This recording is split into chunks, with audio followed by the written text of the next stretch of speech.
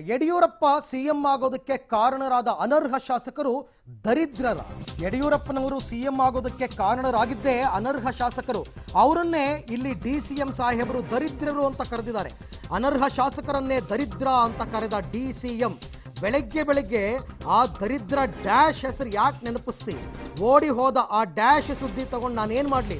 ದರಿದ್ರ ಡ್ಯಾಶ್ ಸುದ್ದಿ ಹೇಳಿ ನನ್ನ ಮೂಡನ್ನ ಹಾಳು ಮಾಡಬೇಡಿ. ಈ ಡ್ಯಾಶ್ ಅಂದರೆ ಉಚ್ಚರಿಸಲಾಗದಂತಹ ಪದಗಳು ಅದನ್ನ ಡಿ ಸಿ ಎಂ ಸಾಹೇಬರು ಹೇಳಿದ್ದಾರೆ. ಅಥಣಿಯಲ್ಲಿ ಉಪಮುಖ್ಯಮಂತ್ರಿ ಲಕ್ಷ್ಮಣ ಸವದಿ ಅವರು ಅವಹೇಳನ ಮಾತುಗಳನ್ನು ಆಡಿದ್ದಾರೆ. ಅನರ್ಹ ಶಾಸಕ ಮಹೇಶ್ ಕುಮಟಳ್ಳಿ ಬಗ್ಗೆ ಈ ರೀತಿ ನಿಂದಿಸಿದ್ದಾರೆ D C M Laxman Savadi.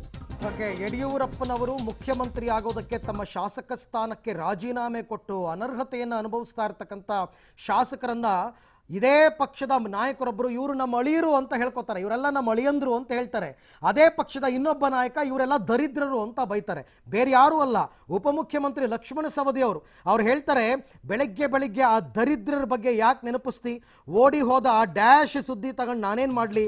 ದರಿದ್ರ ಸುದ್ದಿ ಹೇಳಿ ಬೆಳಗ್ಗೆ ಬೆಳಗ್ಗೆ ನನ್ನ ಮೂಡಿ ಯಾಕೆ ಹಾಳು ಮಾಡ್ತಿ ಅಂತ ಅನರ್ಹ ಶಾಸಕ, ಅಥಣಿಯ ಅನರ್ಹ ಶಾಸಕ ಮಹೇಶ್ ಕುಮಟಳ್ಳಿ ಬಗ್ಗೆ ಮಾತನಾಡಿರೋದು ಉಪಮುಖ್ಯಮಂತ್ರಿಗಳು. ಕೇಳಿ. ಬಿಡು ಮರ ಕುಂಕಳೆ ನಾನ್ ಮಾಡ್ತೀನಿ ಬಿಡು, ಅವ್ನ್ ಕಳಸ್ತೀನಿ ಬಿಡು. ಬಿಡು, ಅವನ ಯಾರು ಧರಿಸಿ ನಾನು ಮೂಡ ಮಾಡ್ತೀನಿ. ಬಿಡು. ಆ ಕು-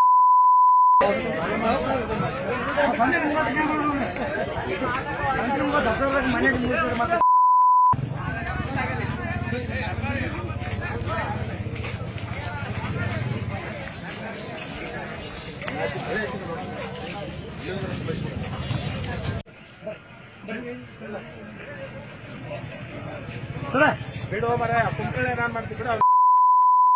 ಕಳಸ್ತೀನಿ ಬಿಡು ಅವ್ನು ಬಿಡು, ಅವನ ಯಾವ ಧರಿಸಿ ನಾನು ಮೂಡ ಮಾಡ್ತೀನಿ ಬಿಡು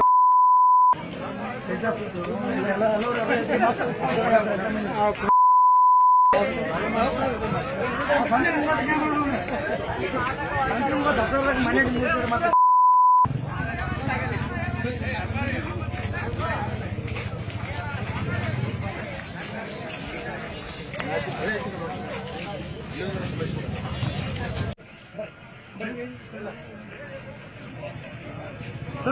ಬಿಡು ಮರ ಕುಂಕಳೆ ನಾನ್ ಮಾಡ್ತೀನಿ ಬಿಡು ಅವ್ನ್.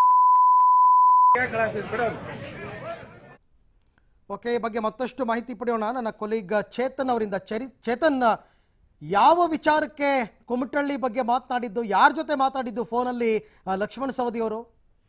ಅರವಿಂದ್ ನಿಜಕ್ಕೂ ಕೂಡ ಬಿಜೆಪಿ ಪಕ್ಷಕ್ಕೆ ಒಂದು ರೀತಿ ಅದೃಷ್ಟ ಅಂತ ಅನರ್ಹ ಶಾಸಕ ಅದೃಷ್ಟ ಅಂತ ಹೇಳ್ತಿದ್ರು. ಆದ್ರೆ ಡಿ ಸಿ ಎಂ ಅವರ ಬಾಯಲ್ಲಿ ಈಗ ಅದು, ಏನು ಅನರ್ಹ ಶಾಸಕ ಇದ್ದಾರೆ ಮಹೇಶ್ ಕುಮಟಳ್ಳಿ ದರಿದ್ರ ಆಗಿದ್ದಾರೆ. ಏನು ಬೆಳಗಾವಿ ಜಿಲ್ಲೆ ಅಥಣಿ ತಾಲೂಕಿನಲ್ಲಿ ಏನು ಕೆಲ ದಿನಗಳ ಹಿಂದಷ್ಟೇ ಪ್ರವಾಹ ಪೀಡಿತ ಪ್ರದೇಶಗಳಿಗೆ ಡಿ ಸಿ ಎಂ ಆಗಿ ಲಕ್ಷ್ಮಣ ಸವದಿ ಅಧಿಕಾರ ಸ್ವೀಕರಿಸಿದ ನಂತರ ಭೇಟಿ ನೀಡುತ್ತಾರೆ. ಈ ಸಂದರ್ಭದಲ್ಲಿ ಅವರ ಬೆಂಬಲಿಗರೊಬ್ರು ಮಹೇಶ್ ಕುಮಟಳ್ಳಿಗೆ ಸಂಬಂಧಿಸಿದಂತ ಒಂದು ಮಾಹಿತಿಯನ್ನು ಹೇಳಲು ಲಕ್ಷ್ಮಣ ಸವದಿ ಅವರಿಗೆ ಕರೆ ಮಾಡಿರ್ತಾರೆ. ಈ ಸಂದರ್ಭದಲ್ಲಿ ಬೆಳಿಗ್ಗೆ ಬೆಳಿಗ್ಗೆ ನೀನು ಆ ದರಿದ್ರಂದ ಯಾಕೆ ಹೆಸರು ಹೇಳ್ತೀಯ? ಫೋನ್ ಇಡು ಅಂತ ಹೇಳಿ ಕುಮಟಳ್ಳಿ ಅವರ ಹೆಸರು ತಗೊಂಡೆ ಡೈರೆಕ್ಟ್ ಆಗಿ ದರಿದ್ರ ಅಂತ ಹೇಳ್ತಾರೆ.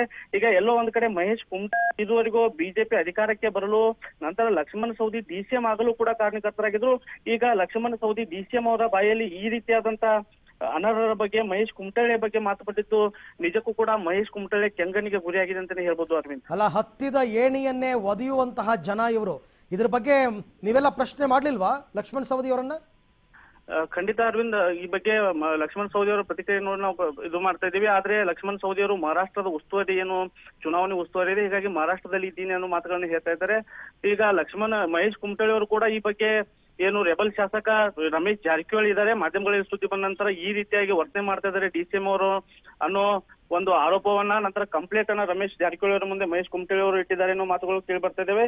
ಹೀಗಾಗಿ ಈ ಬಗ್ಗೆ ಹೈಕಮಾಂಡ್ ಕೂಡ ಲಕ್ಷ್ಮಣ್ ಸೌದಿ ಅವರಿಗೆ ಒಂದ್ ರೀತಿ ಯಡಿಯೂರಪ್ಪನವರು ಈ ಬಗ್ಗೆ ಮಾತ ಕರೆಸಿ ಮಾತುಕತೆ ನಡೆಸುವ ವಿಚಾರಗಳು ಕೂಡ ಈಗ ಪಬ್ಲಿಕ್ ಟಿವಿಗೆ ಮಾಹಿತಿಗಳು ಲಭ್ಯವಾಗಿದ್ದಾವೆ, Arvind. Okay, thank you Chetan. ತಮ್ಮೆಲ್ಲ ಮಾಹಿತಿಗಾಗಿ ಧನ್ಯವಾದ.